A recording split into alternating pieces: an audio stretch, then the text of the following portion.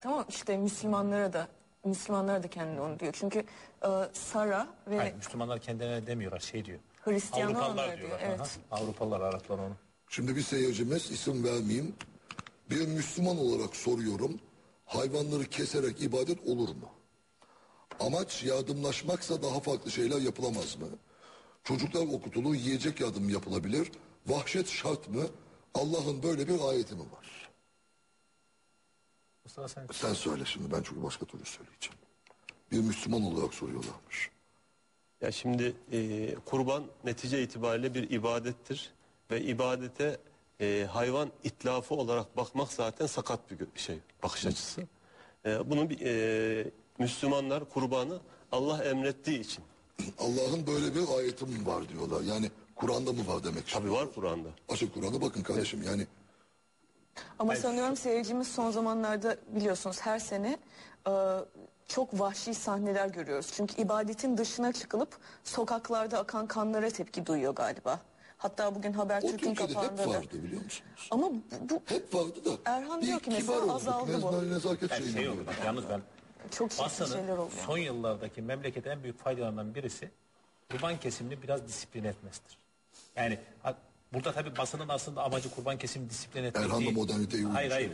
Basın ya şu vardı. Ama tabii. aksın her tarafta kan, kafalar vesaire, Hayır, burada boyunlar asıl belki de basının bir kesiminin amacı şey değildi. Yani kurban kesimi disiplin etme değildi. Bazı kesimleri tahkir etmekti. Fakat bu önemli bir şeye fa- faydası oldu. Dışarıda kesilen kurban sayısı azaldı. Tabii şu var İstanbul büyüdü. Yani eskiden bahçeli evler var. Herkes bahçesinde kesiyordu. Şimdi kesim yerleri yok. Yani insanları suçlanıyor ama insanlar ne yapacak? Şimdi mesela bizim her bayramda bizim de başımıza geliyor. Kurban kestireceksiniz. Yani kestireceğiniz düzgün bir yer yok. Yani soğukta, karda, kışta millet perişan oluyor. Ee, fakat burada dediğimiz gibi yani bu daha düzeldi. Eskiden park görüyorsunuz. e, bütün parklar hayvan kesimiyle doluyordu. Çamurun içinde kesiliyor. O etleri o şekilde götürülüyordu. Yani bi- biraz toparlandı. Fakat şu başladı.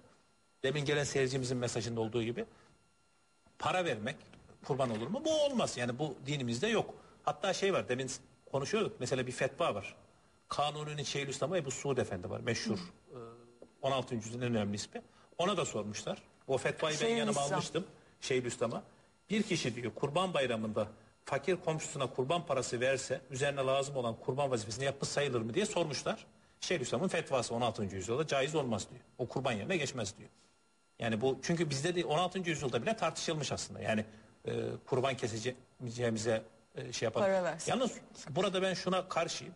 E, bu dışarıda yapılan e, hayvanlara eziyetler zaten dinimizde yer olmayan bir şey. Bunu hiç kimse kabul etmiyor. Yani evet bunu- ben bugün mesela Kur'an-ı Kerim'i açtım. Orada diyor ki hayvanları özellikle İncitilmeyecek. e, incitilmeyecek İncitilmeyecek. e, ve olabildiğince hızlı şekilde Tabii, yapılacak. incitilmemesi lazım. Ama burada Yani- görüyorsunuz devenin mesela 4-5 ayrı yerden şimdi bu kur- kurban, boynu delinmiş. e, kurban adetine İslamiyet'in getirdiği bir eskiden cinayet işleniyordu. Yani insanlar bile kurban ediliyordu. Yani nadi- şey yaygın olmamakla birlikte insan kurban ediliyordu. Arkasından şirk e, yani Allah'a eş ortak koşma adetini kaldırdı. Çünkü tanrılar adına kesiliyordu. İsraf vardı. Ne demek israf? Hayvanlar kesiliyor ve kesip putlara kurban ediliyor ve onlar yenmiyordu. Belli yerlere konup onların kendi kendilerine yok olmaları bekleniyordu. Diğer bir e, önemli getirmiş olduğu husus da çevre kirliliği meselesidir. İşte bunu bir belli bir düzene e, koymaya çalışmıştır ve bununla ilgili yüzlerce e, Hazreti Peygamber'in emirleri vardır, bizzat kendi uygulamaları vardır, bizim tarihi geçmişimiz vardır. Bunların hepsi aslında yapılan yanlışların önüne geçmemiz için bizim yeterli bu bakımdan.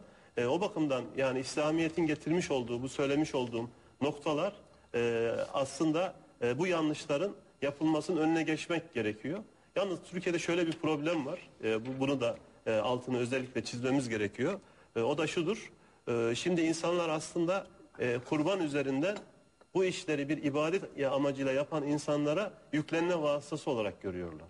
Yani Türkiye'deki temel yanlış bu. Yani o bu işi özel bir arayış içerisinde büyük bir e, işte kim ne yapacak diye bir beklenti içerisinde. Ve bir de tabii bizim insanımız biraz da meraklı. Şu bakımdan meraklı. İşte dünkü haberlerde gördük. E, bugünkü haberlerde de var. Hastaneler biliyorsunuz 2000'den. acemi kasaplarla doluyor. Yani bu neden kaynaklanıyor? 2500 2000'den fazla. Evet. E, çünkü e, insan aslında imkanı olursa kurbanını kendisi kesmesi güzel olur. Tamam mı? Çünkü örnek aldığı kişiler var. Ee, belki birazdan bahsederiz. Mesela bazı e, devlet başkanları, sultanlar mesela e, kurban bayram törenleri esnasında e, işte törenle namaz kılınıyor. Eskiden bayram namazları belli bir alanda e, tek bir yerde kılınıyordu. Musalla adı verilen namaz kılma yerinde tek bir yerde kılınıyordu. Tabii oraya gidiş geliş büyük bir törenle yapılıyor ve orada işte bayram namazı kılındıktan sonra kurban bayramı ise eğer kurban kesiliyordu. Mesela işte ilk defa sultan veya padişahın kendisi kurban kestiği mesela söyleniyor. Bu nereden kaynaklanıyor? Çünkü Hazreti Peygamber veda haccında 100 tane deve götürmüş ve bunun 60 küsürünü kendisinin boğazladığını e, biz kitaplarda e, görüyoruz. E, geri kalan kısmını da Hazreti Ali. Yani insanlar bir anlamda hem kendileri kesiyorlar hem de kendi kurbanlarını kendileri kesmek istiyorlar. Bu tabii acemiliğe sebep oluyor. Bu da nereden kaynaklanıyor? İşte her şeyin başı eğitim diye söyleniyor ya. İşte insanlara eğitmek lazım bu bakımdan. Nasıl Böyle. nasıl eğitilecek ki insanlar? Hayvan kesme dersine mi gidecekler?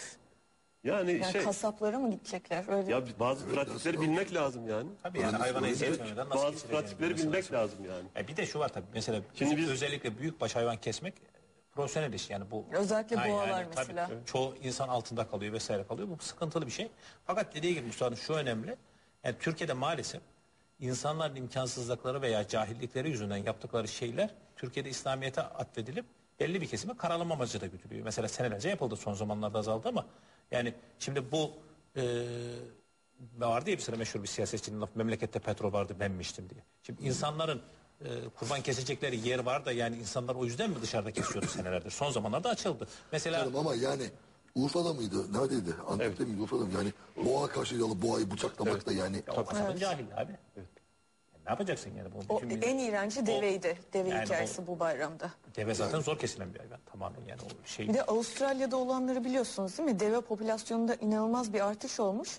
Helikopterden ve uçaklardan deve vurma. Açın, açmışlar bütün alanları. İstediğiniz kadar deve vurun diye. Ya yazık değil mi? O kadar deve satsalar ya da başka bir ülkeye ihraç Kim etseler. alacak ki? Deve çok değerli bir hayvan. E zaten var o devenin yetiştiği ülkelerde. Arabistan'da şurada burada var. Bilmiyorum yani böyle Onlar poligona modern gider gibi. Biz Amerika'ya deve göndermiştik değil mi? Sultan Abdülmecit 19. zamanında, yüzyılda. Sultan Mecit zamanında Ali Amerika- miydi? Deveci Ali. ismi de var. Bir Mezar deveciyle taşı falan beraber, var orada. evet.